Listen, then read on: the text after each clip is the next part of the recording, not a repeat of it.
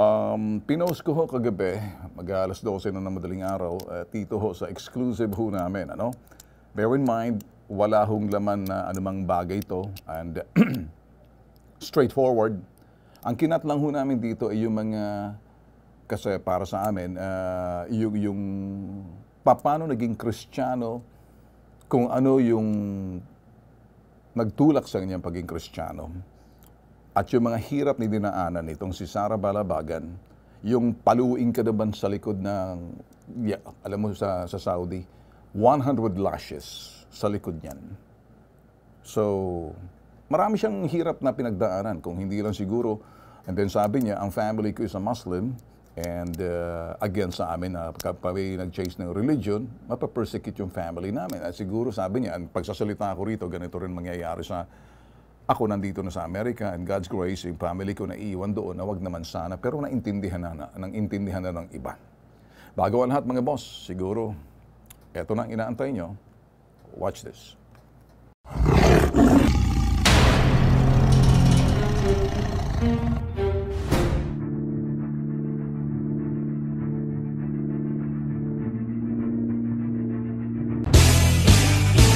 Ben Tulfo, Unfiltered. I was touched by the way that you spoke coming from the heart. And it takes courage to speak of the truth. Yung pagsabi ng katotohanan. Okay, malaya na sa yung mga yung mga sinasabi mo kasi that's the only way truth was free. Okay. Totoo po yun, Sir Ben. I'm just a little bothered kasi may mga iba at nagsasabing bakit ngayon lang sa tagal ng panahon. Yung iba sinasabi kasi parang ginagantihan si Arnold because Arnold has been attacking the administration at oh. hindi siya pro-administration, na ikaw walang kamuwang-muwang, nasa niya, nananahimik ka sa Las Vegas. Mm. Ginamit ka ngayon na mga para retards, sabi ni quote-unquote, gantihan si Arnold. Na ngayon, oh. what would you say doon sa mga taong parang pinagdududahan ng iyong sinseridad na magsabi ng katotohanan? Ginawa mo yun because you want the truth out in fairness to your daughter. Mm-hmm. And it's nothing to do with politics. Before po ako nagsalita, of course, uh, nabanggit ko na rin po yun sa video, sir, na kinausap ko na, nagpaalam ako sa asawa ko, sa nanay ko, at uh, sabi ko nga din sa kanila na mag-prepare sila kasi yung heart nila, yung mind, you know, dahil uh, siyempre makakarinig sila. Hindi naman lahat maiintindihan, kagaya nga po ng sinabi nyo, yung ginawa ko, yung iba, siyempre si Arnold, may mga fanatic, may mga fans siya, may mga supporters siya, at gagawa ng gagawa kung noon nga, eh, kung ano nang sinasabi nila. But, uh, sir, kaya ko po ginawa talaga yon wala akong alam kasi hindi po talaga din ako nanonood ng mga news dito. Pero sir, hindi po sa pag-ano, nanonood po ako ng mga show nyo sa online.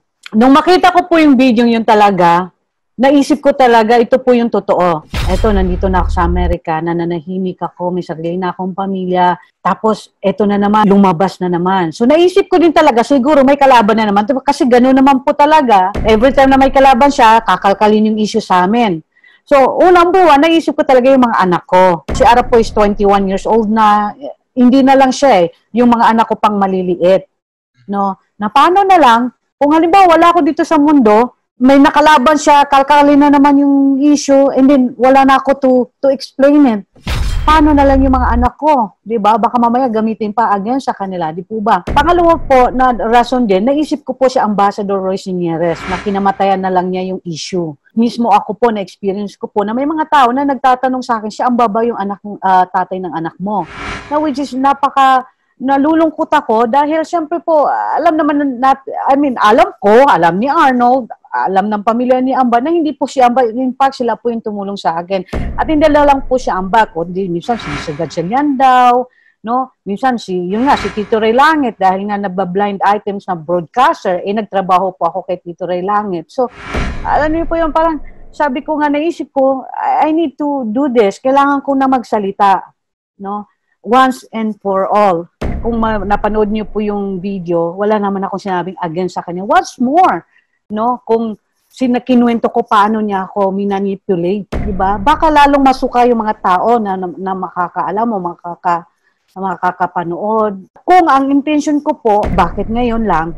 Eh kasi po ngayon lang ako nagkaroon ng opportunity eh. Ngayon lang lumabas uli eh. Nung noon pa po na nasa Pilipinas po ako, syempre po, ilang politiko po ang lumapit sa akin na pinakiusapan ako na ireklamo ko si Arnold Clavio. In return, dudublihin nila yung sustento na binibigay sa akin ni Arnold o sa anak namin. Pero hindi po ako pumayag dahil ayaw ko po na magamit ako sa politika. Kung magpapagamit lang ako sa politika, noon pa, you know. So wala po akong intention ano kung hindi yung sabihin lang yung katotohanan. Ngayon yung problema niya sa sa administration, sa politics, ay labas na ako doon.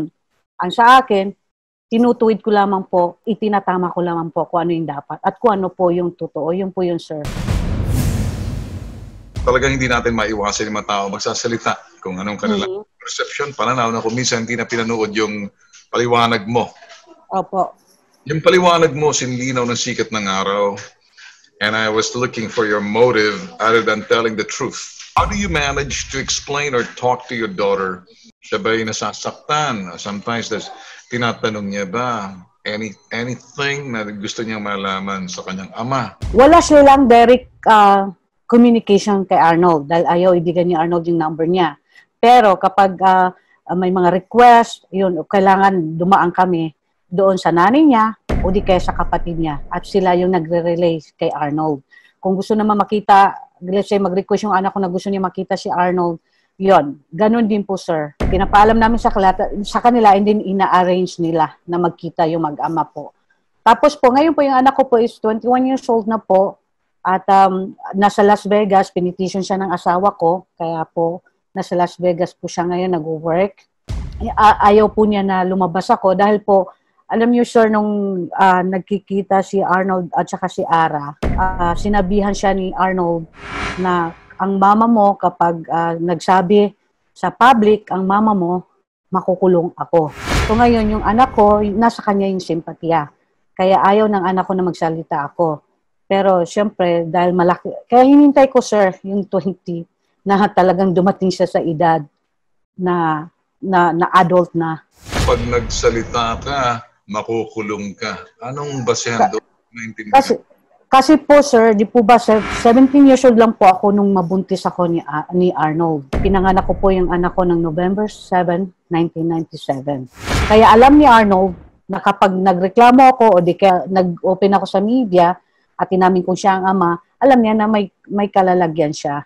So siguro kaya po yung pinangunahan na po niya yung anak ko. Alam ko na si Arnold, ah, natutuwa siya na nandito na yung anak kami sa Amerika kasi para feeling niya free na siya.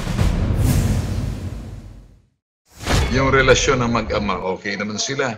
si Arnold at saka si Ara, pag nagkikita naman po, dahil bira nga lang po sa once in a blue moon lang sila magkita. So, I think okay din, okay naman po. Okay lang kay Ara yung arrangement ngayon at this point. in time. Uh, nafe-feel ko po na, syempre po, malungkot po yung anak ko. Like po, nung high school graduation niya, hindi niya binigay sa akin yung address, nung, yung invitation for the parents ng school. Ah, kasi iniisip niya siguro na na pag hindi ako pumunta, pupunta yung tatay niya. Eh, hindi naman talaga pupunta yung at tatay niya. Eh, hindi po ako nakapunta sa graduation niya. So, yung mga ganung sitwasyon po, sir, alam ko po na yung anak ko, syempre po, naglulungin po ng tatay. Kung magsalita, aminin ni Arnold, o magsalita siya, wala na po akong ano. Basta importante, kumbaga, naipasa ko na yung burden sa kanya. Nasa kanya na yon kung aaminin niya. Huwag lang niyang i-deny. Pag i-deny niya, ibang usapan na yon.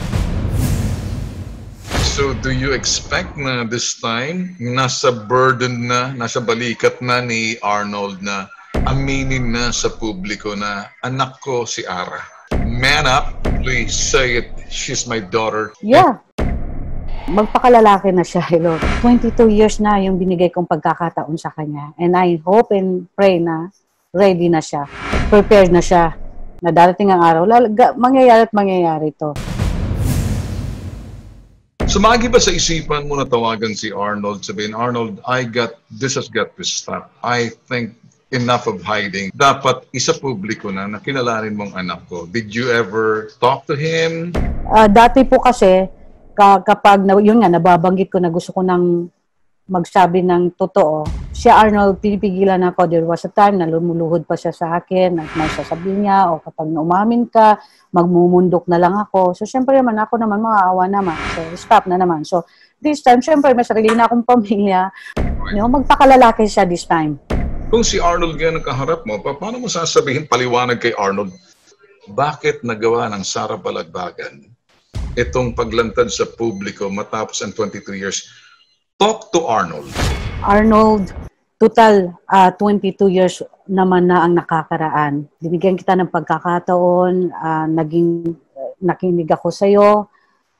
So ngayon, it's about time na iklaro ko na at sabihin sa mga tao na ikaw nga ang ama para mak- maklear yung mga pangalan ng mga tao na tinuturo ng iba na sila ang ama ni Ara. At the same time, total, malaki na yung anak natin, 21 years old, at malaki na rin ang mga anak mo. And I'm sure, ready, ready ka na emotionally, mentally, para harapin yung ginawa mo sa akin. Pasalamat ka dahil after 22 years, aminin mo na lang. Aminin mo na magpakalalaki ka. Aminin mo yung ginawa mo sa akin. Hindi ko sasabihin kung ano yung paano mo ako minanipulate. Hindi ko i-justify kung ano yung mga ginagawa ko o kung paano nangyari yung mga pagkakamali ko. Pero sasabihin ko lang ang totoo na ikaw ang ama ni Ara. Wala kang sama ng loob kay Arnold habang sinasabi mo to. Wa- Wala po ako talagang, ano, alam niyo po Sir Ben, ah, by God's grace po, napa, natutunan ko pong patawarin si Arnold kaya hindi pa siya humingi ng tawad sa akin. Bakit ko po kailangan gawin yon para ako po ay makamove on? Hindi po basta-basta yung pinagdaanan ko, Sir Ben, af- after ng relationship namin. Nag-counseling ako, nag-inner healing ako para lang ma-overcome ko at matutunan kong patawarin yung sarili ko. How did you become a Christian? Well, naging Christian po ako through, dahil pinakilala po ako ni Ate Dulces kay Pastor Gasping Maribohok. So, nung time po na siniran po nila ako, ah, dahil tinanong po ako ni Pastor Gaspi, Sara, paano ka ba pi, ah, pinalo? Paano yung nangyari sa sa UAE? So, kininto ko po kung paano po ako pinalo. Hindi ko po maiwasang umiyak dahil nung time po yun, emotionally, hindi pa ako healed. So, every time po na ikukwento ko yung nangyari sa akin, especially yung lashes, ah, hindi parang nararamdaman ko pa rin yung hapdi sa likod ko. Kaya po nung nakita po nung pastor yun, sabi niya, Sarah, alam mo ba na yung 100 lashes na na-experience mo sa Middle East, wala pa yun sa katiting na parusa na tinanggap ni Jesus. Pero si Jesus, walang kasalanan, walang maling ginawa, wala siyang pagkakasala. Pero ginawa niya lahat yun, tinanggap niya dahil sa pagmamahal niya sa iyo. Yung word po yun, nung nabanggit ng pastor, yun po ako nakarelate. Kasi po, yun po yung na-experience ko po, yun yung naramdaman ko nung time na pinapalo po ako sa likod. Yung din po yung nararamdaman ko nung time, ngayon ko na lang po masasabi. Nung time yung kahihiyan, nung nang may nangyari sa amin ni Arnold na nabuntis niya ako, na hindi ko mabanggit-banggit sa, na, sa testimony ko dahil pinoprotektahan ko nga siya.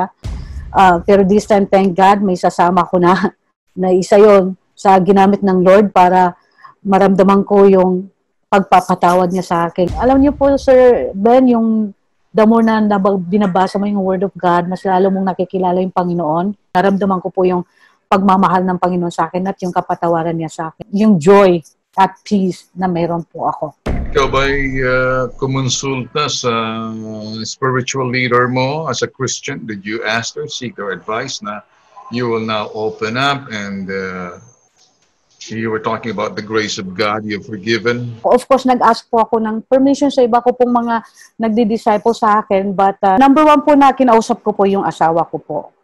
Sa kanya, napaka-importante po sa akin yung opinion niya kung payag siya. No? Ah, so pumayag naman po siya. Nung pumayag po siya, tinawagan ko po yung nanay ko. At ah, ang nanay at yung ibang kapatid ko po, pumayag naman po na para maiklaro na rin kasi sila din po nababala, laging tinatanong, totoo ba kung sino-sino yung mga binabanggit na pangalan na tatay ng anak ko, ah, ah, sabihin mo na yung totoo. Kaya po, ah, naglakas loob ako for the sake ng mga anak ko, ayoko maging mamulto sa kanila. Maklear na yung mga pangalan ng mga tao na nadadamay, na nababanggit na si kasi sila yung ama. So, yun po yun. Ginawa ko tong interview na to in search for truth, not to intrude in your private life. Mhm. You know, we commit mistakes in the past and uh, Mm. consequences are there. Hindi naman natin pwedeng dalhin sa hukay. Mm. Sekreto na yan. Kasi sabi mo, as a Christian, there's the only way is for you to tell the truth, withholding the truth, Mm. lying. And lying is a form of cheating. Yung message mo sa mga taong sa ginawa mo para maintindihan nila kung bakit mo ginawa na lumantad magsabi ng katotohanan. Ah, may mga nagtatanong po sa akin, bakit daw po ako nag-live? Bakit daw po ako nag ah, sabi, ngayon lang ako nagsabi ng totoo about Arnold Clavio. Nagpapasalamat ako sa Diyos dahil nagkaroon ng opening no? Dahil nga po doon sa nag-viral na post. Kaya ko po naisip talaga na magsabi ng totoo. At bakit po Facebook bakit po Facebook live hindi na lang sulat para sa akin na magmumula mismo sa bibig ko yung pag-amin ko po. Number one po nga po, ang da- da- rason ko is para po sa mga anak ko po na iba pa. Hindi lang po kay Ara, kung hindi yung malilit ko pa pong mga anak. At the same time po, yung nga po maklear po, yung pangalan po nila Ambassador Sinieres, nila Mr. William Gansalian, at Tito Ray Langit, na sila po yung mga tinuturo na ama ng anak ko. And I, Arnold, kung nakikinig ka o kung maririnig mo ito, magpakalalaki ka na at harapin niya yung ginawa niya. Hindi naman po lahat may itatago. Wala pong ah, sikreto na hindi mabubulgar. Ben Tulfo, Unfiltered. Ang unfiltered ho yan, hindi ako, si Sarah. Ipinagkaloob lang ho namin yung kanya, yung programa ho namin, sa mamagitan ho ng segment na unfiltered for her to speak. Ngayon, as a journalist, ako ay officially, although alam ko naman di mangyayari to, mananawagan na rin ako sa iyo, Arnold. If you, if you wanna makuha yung side mo, which alam ko naman, ah, protocol na lang to, alam ko naman na ikay tatanggi dahil hindi naman papayag yung uh, GMA7 as courtesy to you. Sasabihin ko na lang, with due respect also. We have an issue here. My question really is, would you still stay in the dark? What you gonna do when the sun shines on you? Which way? Light or dark? Well, your choice. Bibigyan na kami ng pagkakataon kung gusto mo. But with due respect sa network mo, imposible mangyayari yan. Exclu- exclusive. But, pero siguro ako as a friend, magsalita ka na lang. Kasi kung hindi, maraming sasakay dyan. Patayin mo na lang issue and then say it. Ah, lahat naman tayo nagkakamali. Kahit na naman ako eh, makasalanan nagkakamali umamin tayo, kumumpisal, lang, kumpisal natin pagkakamali natin, mapapatawad tayo ng mga taong umiidolo sa atin eh. Tao rin naman tayo eh. Tsaka sa, sa susunod siguro, para doon sa iba pang mga broadcaster, ah, nagmamagaling, always want an accolade, acceptance, likes, idolize. We're not perfect. Just be honest. Walang perfecto rito eh.